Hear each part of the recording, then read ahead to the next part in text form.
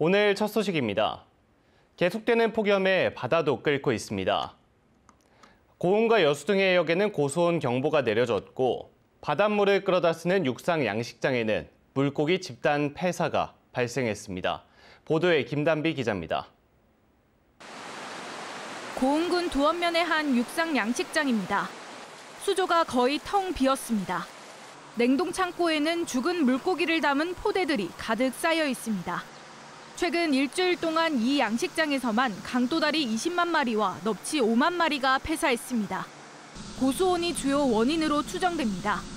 고수온 경보가 내려진 등량만 인근 바닷물을 끌어와 사용하고 있기 때문입니다. 계속 지금도 나오고 있으니까 하루에 뭐 몇천 마리씩 나오고. 해상 양식장도 초긴장 상태입니다.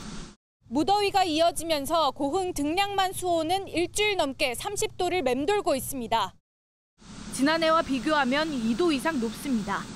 이 밖에 여자만과 도안만, 한평만에도 고수온 경보가 내려졌고 지난주에는 적조 예비 특보까지 발령됐습니다.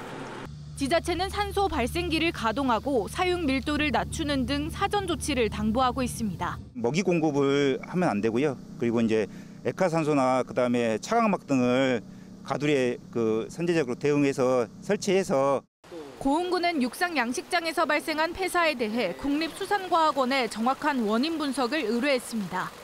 지난해 전남에서는 고수온으로 5개 시군 376개 어가에서 219억 원의 피해가 발생했습니다. MBC 뉴스 김담비입니다.